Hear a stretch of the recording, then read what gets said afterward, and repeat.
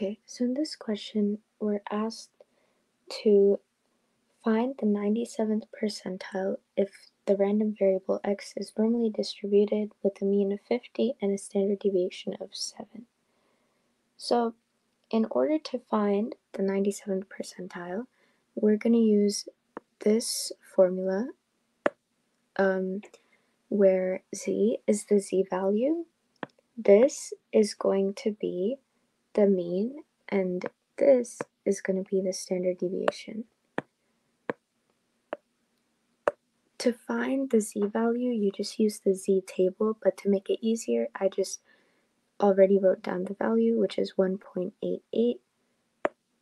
Other than that, and on the bottom here are some key points just to keep in mind, and we're going to work on the problem. So we are told that x is normally distributed, which means that we can use a graph like this of the normal distribution curve. So since the mean is 50, that is going to be the number in the middle. And since the standard deviation is 7, each um, standard deviation, depending on what direction you go, is either going to be 7 more than 50 or 7 less. So for example, this number right here is going to be 57 because that's one standard deviation away from the mean. Same thing on the other side, except you subtract, so that value is 43 and it goes on for both sides. We're asked to find the 97th percentile. So in order to do that, we're going to use this formula that I have listed here.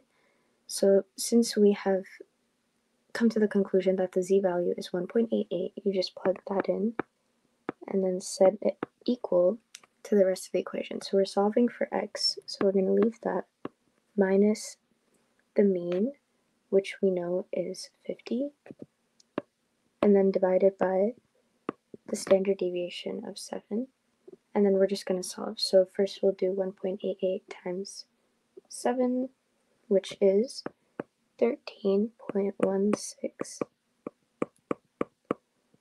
And then to solve for x, we'll just add 50 to the other side, and then you get a final answer of 63.16.